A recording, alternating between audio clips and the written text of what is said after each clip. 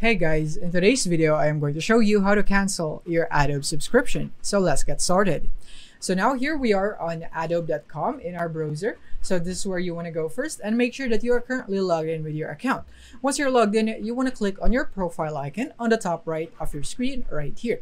And now what you want to do is click here on manage account.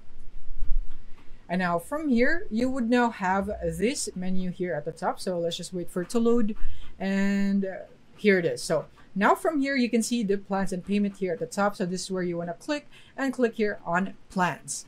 And from here, you should now be able to see all of the plans that is currently active on your uh, on your account right here. But in my case, I don't have one because I have already canceled it.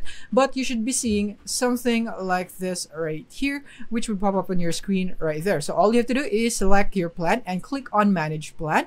And then after that, you want to click here on the manage or the cancel plan button right there. As you can see here on the bottom right. So that is basically it. All you have to do is to continue to cancel and just confirm the cancellation. That is basically how easy it is. So you don't have to do any special steps. This is the easiest way on how you can cancel your Adobe uh, subscription here on your browser. So that is basically it for this video. I hope this video helped you out. Thank you for watching.